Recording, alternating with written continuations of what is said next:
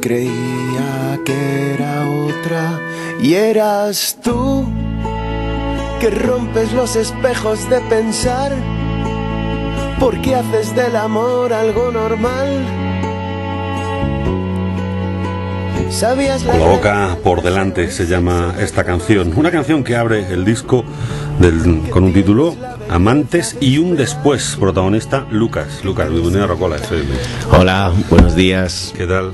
¿Cómo estás? Muy bien, muy bien, muy contento de estar aquí. Nos hemos cruzado unas cuantas veces, hemos oído hablar mucho de ti, pero nunca te habíamos tenido, ¿no? Y, y por fin te tenemos y además, bueno, nosotros en principio con este disco, pero nos acabas de dejar el anterior eh, y también nos has dicho, es que soy una persona muy productiva, o sea, no Sí. paro, no paro de hacer canciones, ¿no?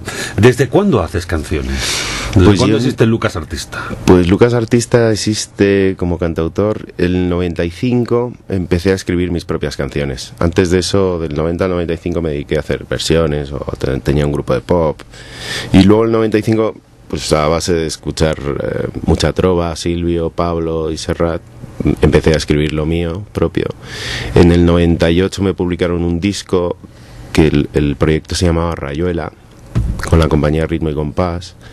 Y luego empecé a trabajar, bueno, empecé a moverme por el circuito de cantautores de Libertad 8, del Búho Real, que es lo que he estado haciendo todos estos años.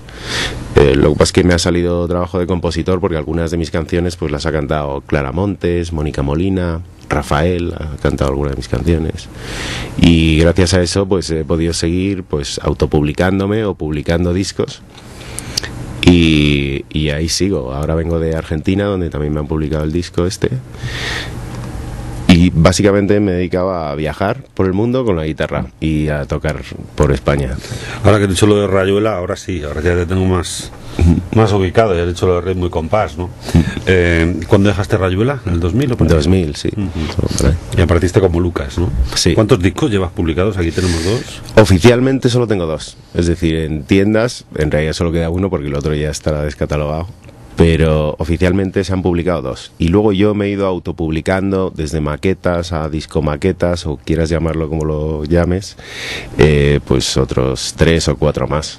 Para que todo lo que fuera componiendo, pues yo qué sé, para irle dando un poco de vitalidad al asunto. O sea, Amantes y un después, este es extraoficial. Ese es extraoficial, totalmente autopublicado, autogestionado y autoproducido. Bueno, alguna broma hay en la contraportada del disco.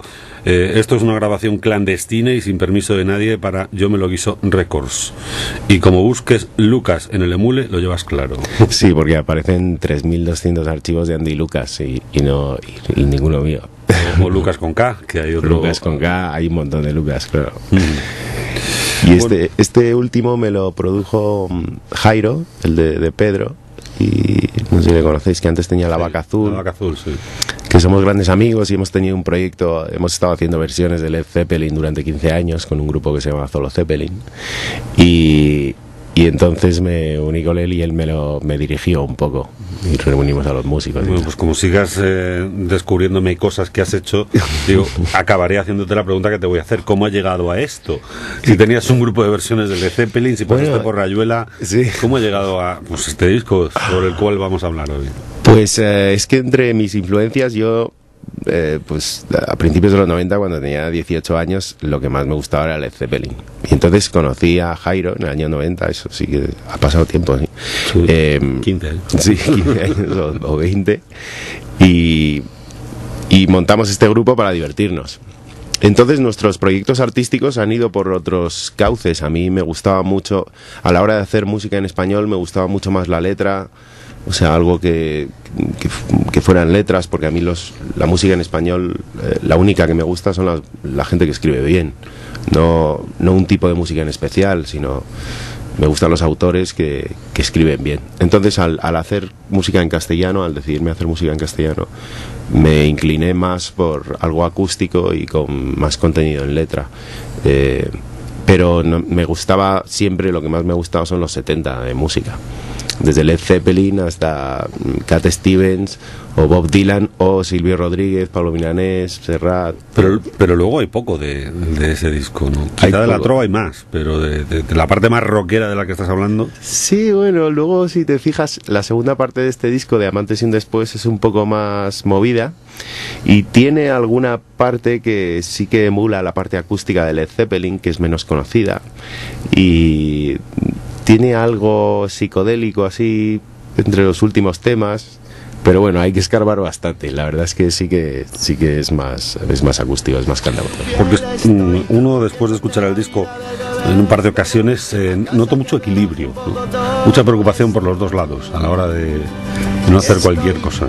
Sí, supongo que eh, en la letra me han influenciado lo que es la trova y bueno, me gusta mucho leer y luego la música ya te digo que los años 70 para mí me marcaron cuando yo tenía 18 años y no he, no he salido de ahí. Entonces el sonido así más acústico, más a veces psicodélico, sí que me ha influenciado. Y la, el equilibrio entre las dos, eh, supongo que lo he, ido, lo he ido ejercitando un poco con, con los años. ¿no? Mm, ahora a lo mejor escribo menos letra, pero o sea, intento resumir en menos frases lo que antes decía en más, eh, para que el mensaje musical sea más sencillo. Pero no sabría decirte, la verdad, porque hay también otros temas que, me dejo llevar. Eh, lo cierto es que, o sea, cada tema es de su padre y su madre. Y, y lo que no intento perder es la frescura. A la hora de componer, ¿no?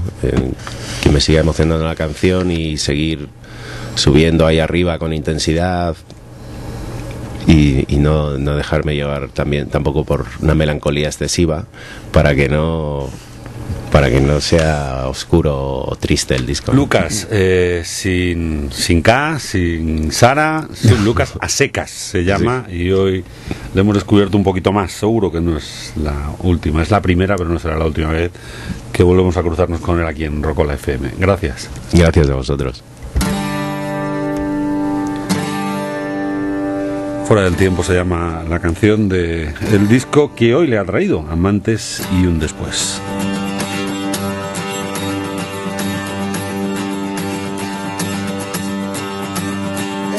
De la guerra para caer de rodillas con la niña más joven del pueblo.